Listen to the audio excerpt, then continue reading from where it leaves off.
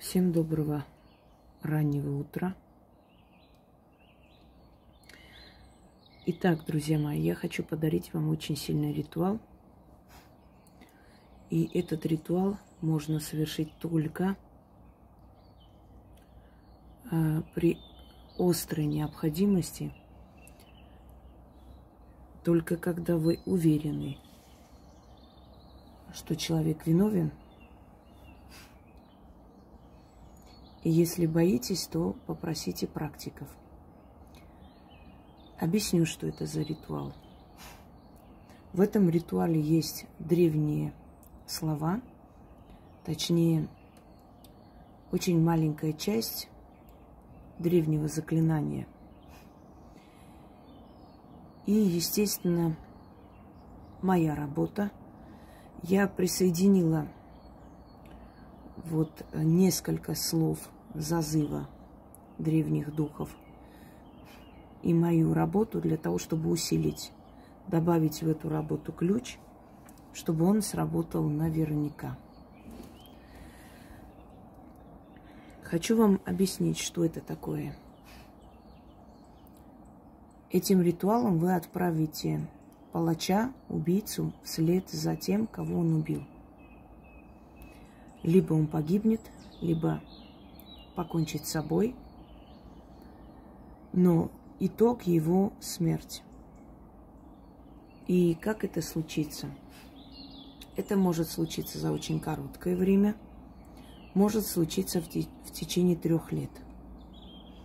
По-разному. Когда это случится, откупитесь. Сделайте кому-то большой подарок, не своим близким и родным. Помогите кому-то деньгами. Сделайте одно очень большое, хорошее, доброе дело. Вам нужно откупиться за справедливость судьбы по отношению к вам. Как можно это сделать? Хочу вам сказать, что практики эту работу могут провести э, дома. То есть э, для практиков отдельная система работает, для обычного человека отдельная. Практики могут читать в открытое окно 13 раз. Э, при свечах, восковых черных свечах 13 раз.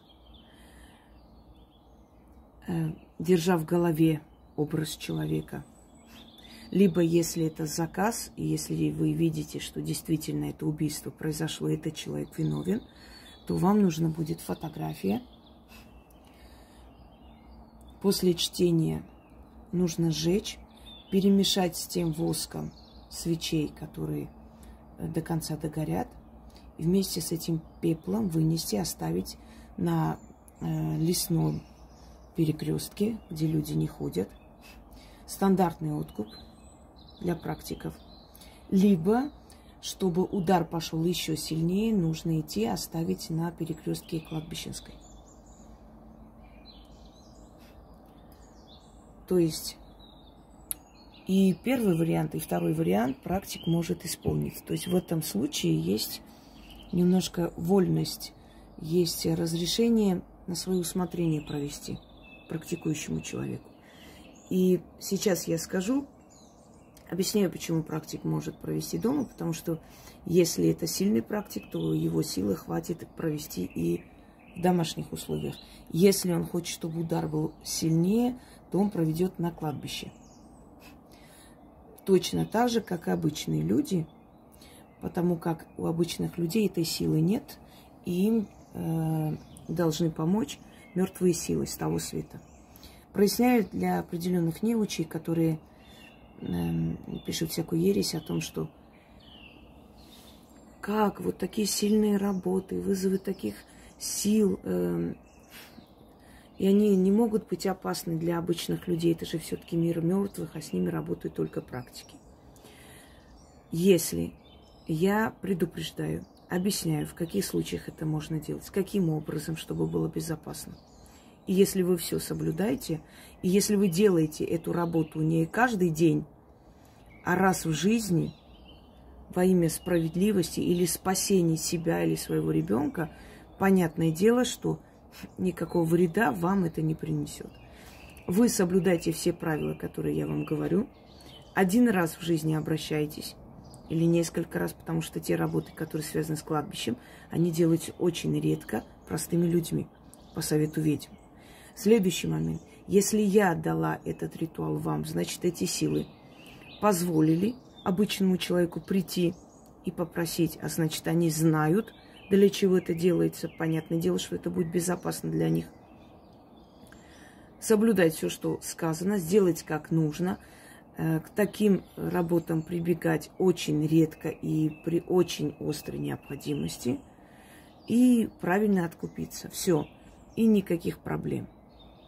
Понятное дело, что работать с кладбищем обычному человеку нельзя. Просто работать с кладбищем, лезть в кладбищенскую магию. Но это совершенно иное. Это обращение раз в жизни или несколько раз в жизни в самые страшные моменты к силам кладбища за помощью данный профессионалом заговором, понимаете? Поэтому здесь вот лишнее вот это вот кудахтание вообще не к месту.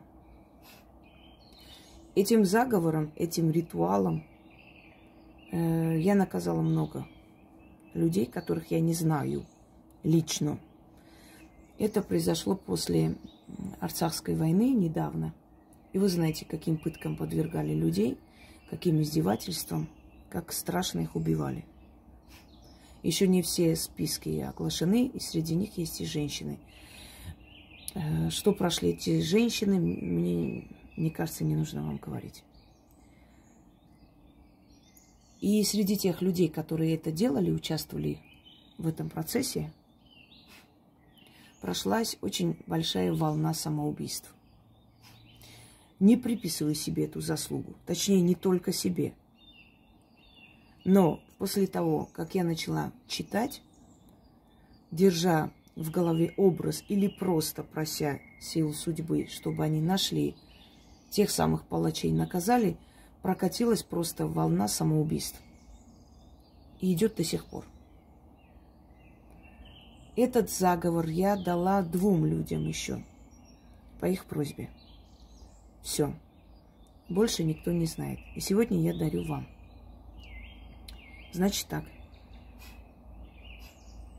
Если вы знаете, кто убил вашего близкого человека, любимого, брата, мужа, сестру, мать, кого угодно, да хоть вашего соседа, с которым вы дружили, вы знаете убийцу или не знаете убийцу. Если не знаете убийцу, немножко сложнее. Если знаете убийцу, быстрее пойдет удар. Вот вы знаете убийцу, он отмазался, или он крупный чиновник, только при убийстве, запомните. Этот заговор в других случаях наказания не подходит. Для этого больше, э, то есть много дано других работ. Если человек убил и безнаказанно живет, либо вы не знаете его, так и не нашли, либо вы знаете, уверены, что это он. То есть все указывает на него. Но так получилось, либо он взял там символический срок получил, или вообще не посадили. Или посадили, но вы не хотите, чтобы он вообще жил. И такое возможно. Берете 13 черных восковых свечей. Для практиков вначале объяснила, не буду снова говорить. 13 черных восковых свечей. Стандартный откуп, то есть э, водка, черный хлеб – и фотографии того человека, которого вы хотите наказать. Идете на кладбище. Если вы можете, имеете возможность прийти на кладбище того самого убиенного человека и там совершить, удар пойдет еще сильнее. Здесь нет несколько вариантов именно по той причине, что многие люди, например, живут в других странах мира, а родные и близкие как бы уже давно в другом, в другой стране живут. И поэтому вот решение только такое. Либо пойти на его могилу сделать, либо на безымянную могилу в любой стране мира. Безымянная могила – это могила, где уже надпись не видна, никто не знает, что это за могила, поросшая уже травой могила. Вы идете не к этому мертвому, вы идете к силе смерти, к миру теней. Зажгли 13 свечей, неважно, как вы поставите там, полукругом, кругом, это не имеет никакого значения. Вылили немного водки, отломили хлеб, все это поставили рядом, прочитали 13 раз, зажгли фотографию того, кто сделал над свечами и ушли. Если это могила близкого человека, вы полгода не имеете права туда идти. Если это кладбище с безымянной могилой, туда идти вообще лет 5-6 точно не, не должны. Учтите все эти тонкости, потому что это не простые работы, они очень сильные, поэтому нужно делать все как положено. Если вы хотите, чтобы был результат, и чтобы этот результат был такой, какой вам надо. Читаем. Без страха, без ничего. Прочитали, сожгли его фотографию, проследили, чтобы сгорела фотография. Так и оставили на могиле. Свечи сами догорят, отпадут, повернулись. Просто уходите без никаких слов. Как откупиться, я вам сказала, когда все получится. Начнем. Да, передумывать нельзя. Если вы сто процентов решили и поняли, что вы хотите, чтобы он был наказан, с полпути передумывать нельзя. Это вам не игрушки.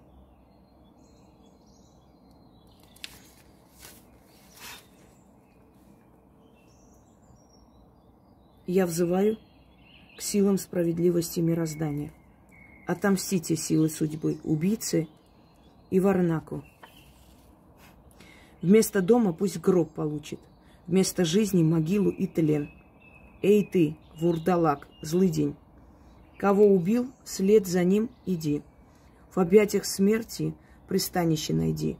Да отвернуться от тебя, стражники, да гниют твои кости, опухает нутро. В мучениях сдохни, ложись в гроб. Могила твоя пусть травой прорастет – и душа твоя покоя не знает. Мучается в царстве теней и блуждает, чтобы ты столько своих слез испил, сколько невинной крови пролил. Ведьмин час, мертвая кость, приди ко мне с того света гость и сотвори суд справедливый. Аж хомок, око усм, и над всеми великая сила судьбы. Заклято. Еще раз читаю. Читать нужно 13 раз. Я прочту два раза, у меня еще много чего нужно сделать. Поэтому сами понимаете, как, что делать, объяснила. Я взываю к силам справедливости, мироздания. Отомстите силы судьбы убийцы и Варнаку. Вместо дома пусть гроб получит, вместо жизни могилу и тлен. Эй ты, вурдалак злыдень, кого убил, След за ним иди. В объятиях смерти пристанище найди. Да отвернутся от тебя стражники, да гниют твои кости, опухнет нутро. В мучениях сдохни. Ложись в гроб, могила твоя, пусть травой прорастет, и душа твоя покоя не знает. Мучается в царстве теней и блуждает, чтобы ты столько своих слез испил, сколько невинной крови пролил. Ведьмин час — мертвая кость. Приди ко мне с того света, гость, и сотвори суд справедливый. Аж, хомок, око, усм, и над всеми великая сила судьбы. Заклято. Я извиняюсь, первый раз, по-моему, какую-то часть пропустила. Еще раз прочитаю на всякий случай. Пролистала. Усталость просто. Я взываю к силам справедливости мироздания. Отомстите силы судьбы, убийце и варнаку. Вместо дома Пусть гроб получит, вместо жизни могилу и тлен. Эй ты, вурдалак злый кого убил, вслед за ним иди. В объятиях смерти пристанище найди. Да отвернутся от тебя стражники, да гниют твои кости, опухает нутро. В мучениях сдохни, ложись в гроб. Могила твоя пусть травой обрастет, и душа твоя покоя не знает, мучается в царстве теней и блуждает, чтобы ты столько своих слез испил, сколько невинной крови пролил. Ведьмин час, мертвая кость. Приди ко мне с того света гость, и сотвори суд справедливый. Аж хомок, око, усом, и над всеми великая сила судьбы. Заклято. Да, если вы не знаете, кто это сделал, просто идите, проведите силой справедливости судьбы, сами его найдут. Но если знаете, уже объяснила, что делать с фотографией. И никогда не прощайте. Они должны получить то, что приносят в этот мир. Что дали, то и получили. И это справедливо. И ни о каком прощении говорить не нужно. Это рабское мышление. Пусть рабы прощают. А мы мстим. И мстим справедливо. Всем удачи!